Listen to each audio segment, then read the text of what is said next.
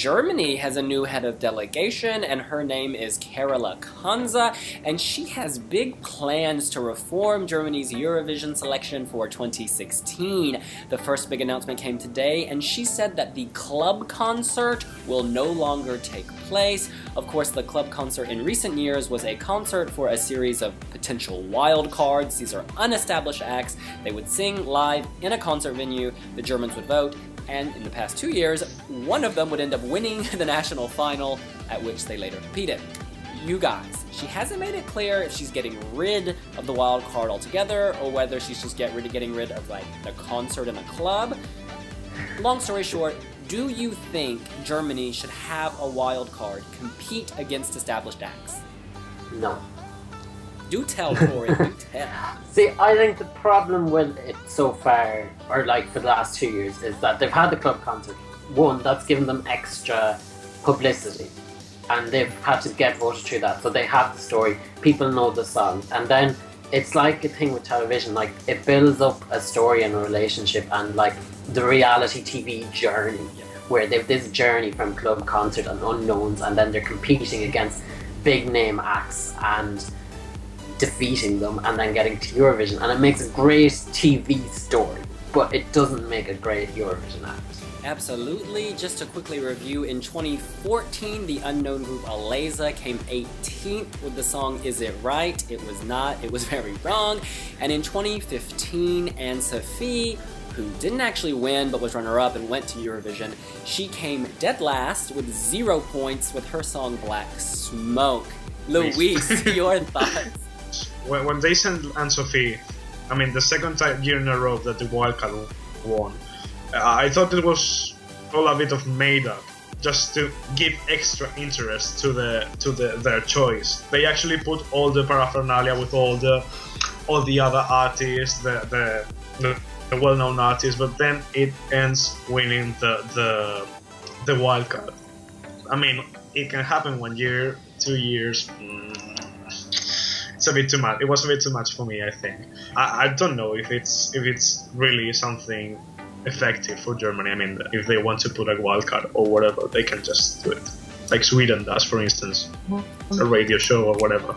You know what? Exactly. I like the fact that there is a wild card and an opportunity for a new artist, but Porig is right that there's too much exposure for that artist. Like in Sweden, they the wild card wins Svensktoppen, and then he. But there's not all this hype. It's not like this reality TV show journey, and it, it there's a huge amount of time between the Svensktoppen and then the actual Melfest, so people forget about this person who won, and um, it's more fair for everyone, I think, because like you want the best song to go, and you know even among the established acts, there will be people competing who the general people do not know. Um, and so why give the wild card such a huge advantage? Like all this exposure, like oh my god, you won! Oh my god! You know, it's look what's happened. I mean, I'm sorry, Elaiza and Sophie.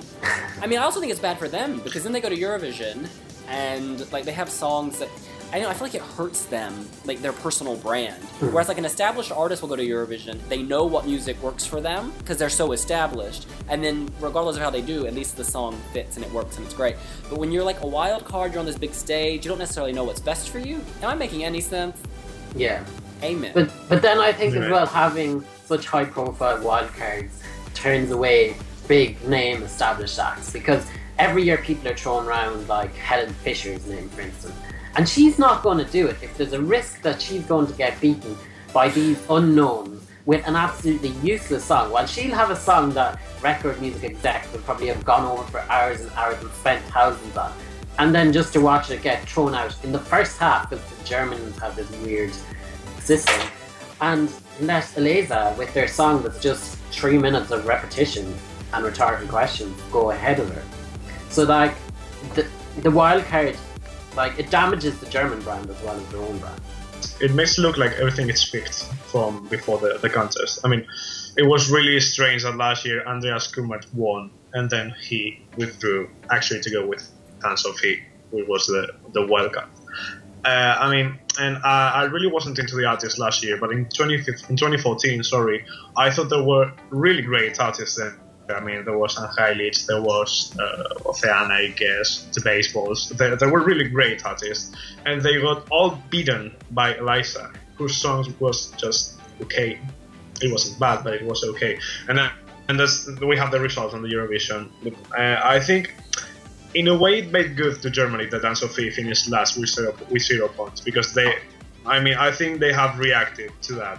That it's not really good to have all the wildcard just for promotion of her or whatever. And on Eurovision.de, with this announcement, they have an interview with Conze, and she's asked, How do you explain the poor result of Ann Sophie? And she says it's a tough question. Well, let me tell you this it is not. she did not do well because it just didn't work. The song wasn't right for her, it was too sassy and soulful. I mean, it was written by Ella Eyre, and that's just too much for Ann Sophie, who like she has swagger, but not the right kind of swagger for that particular song. And I've just got to highlight the night before the final, we had a jury review, and I said this will finish last with zero points. Everybody thought I was crazy. Well, you know what? I wasn't crazy. Roll that clip. Now, my number 27, my last place, goes to Germany's Ann Sophie. Her album is called Silver into Gold, but I'm sorry, this is silver into brass, this is silver into plastic. I think she's lost in the black smoke, and she thinks that she has the soul of an Aretha Franklin. She thinks she has the bootyliciousness of a Beyonce, but she has neither. I feel like she's a bit of an imposter on this song. She's somewhat, I mean, she's got a great voice, don't get me wrong, beautiful voice, but it doesn't fit this style. She just comes off as pedestrian. It ends up as bad karaoke. I know that Germany, you know, knows how to do staging, but even that here, it doesn't. It's just boring. It's black and gold, and it's boring. And Germany will finish last with me.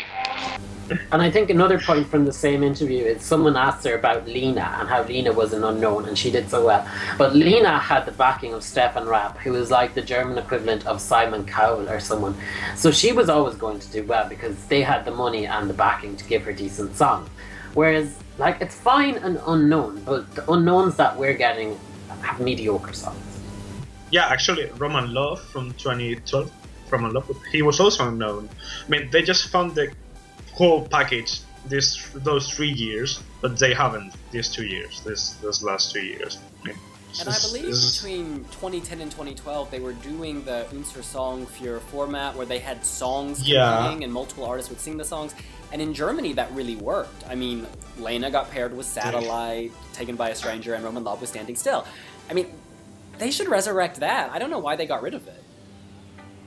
Yeah, because actually, uh, Roman Lob ended eighth which was better than Lena's second attempt. Which uh, I mean, it's not really a question of results. And the next year, Cascada, the popular, art, the super popular artist with everyone with, I mean, uh, 18th place was it? Was it 21. 17th, 18th? I guess 21 with 18 points. Hey, Dorne.